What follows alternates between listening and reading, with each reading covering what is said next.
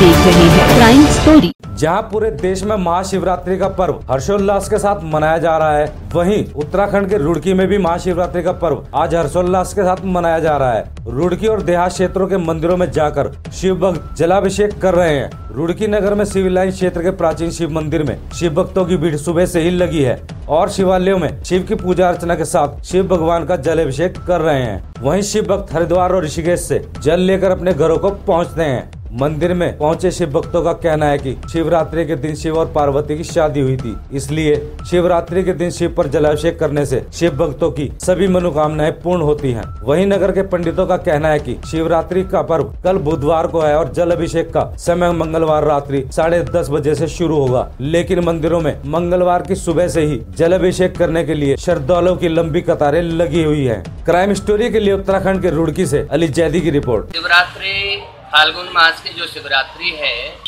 भगवान शिव के निमित्त होने वाला सनातन धर्म में श्रेष्ठ व्रत है। और अब की बार फाल्गुन मास में जनमानस में जो भ्रांतियाँ उत्पन्न हो रही हैं, कि शिवरात्रि कब मनाई जाए उसे लेकर के मैं आप लोगों की कुछ शंका को दूर करूँगा। जो शिवरात्रि का व्रत है, त्रयोदशी समाप्ति होने पर जब चतुर्दशी तिथि का प्रवेश होता है, तब शिवरात्रि मनाई जाती है। इस बार यह दिन द्वय का योग बना हुआ है। चतुर्दशी का प्रवेश तेरह तारीख मंगलवार को रात्रि दस बजकर बाईस मिनट पर प्रवेश होगा, जिसमें चार पहर की पूजा शिवरात्रि के त्यौहार पर मनाई जाती है और उसकी विशेषता भी है।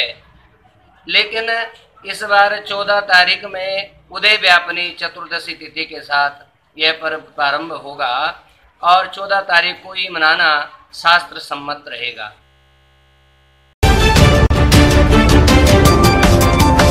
आप देख रहे हैं क्राइम स्टोरी